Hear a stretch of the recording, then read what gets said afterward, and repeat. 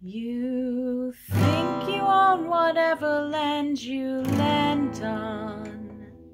The earth is just a dead thing you can claim.